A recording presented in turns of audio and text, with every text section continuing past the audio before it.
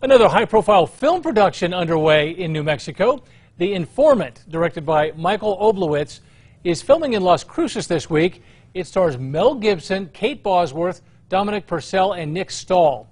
That story is about a terminally ill undercover cop who conspires to stage his own death to help his family. The production will employ 30 New Mexico crew members, two local principal actors, and local background talent.